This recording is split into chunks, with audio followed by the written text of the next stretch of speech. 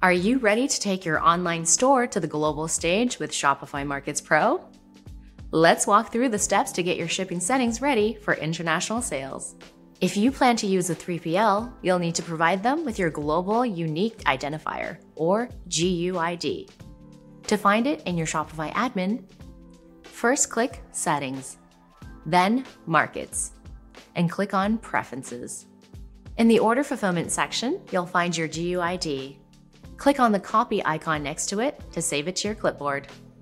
The setup process may be different for each fulfillment service, so check your 3PL support docs to find out more information.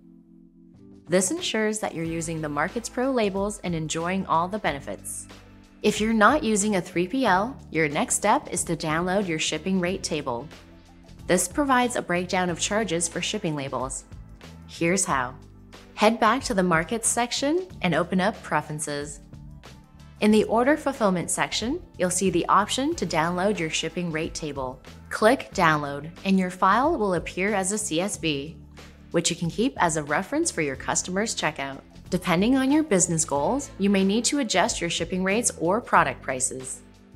If you're focusing on international growth, consider charging less for shipping than the actual shipping label cost. You can offset this by increasing your product prices for international markets. If this strategy sounds right for your business, you can create reduced flash shipping rates or offer free shipping. To get started, click Settings, then Shipping and Delivery. Open the shipping profile you'd like to edit. From here, click on Add Rate for a specific shipping zone. Select Set up your own rates and choose one of the transit time options. Enter the shipping rate price that customers will see at checkout.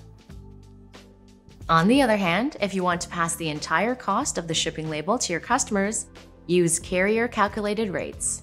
In your shipping profile, click Add Rate. Click on Use Carrier or App to calculate rates.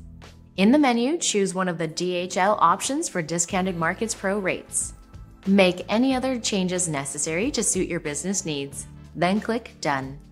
Click Save to add these rates to your checkout. After you've decided on your shipping strategy, it's important to keep your customers informed about international shipping on your store. You can find your shipping policy in the Shopify admin by clicking on Settings, then Policies. While the shipping policy doesn't include a template to build off of, you can check out the Shopify blog linked for some examples to get you started. Shopify Markets Pro can streamline your operations and ensure timely delivery. So why wait?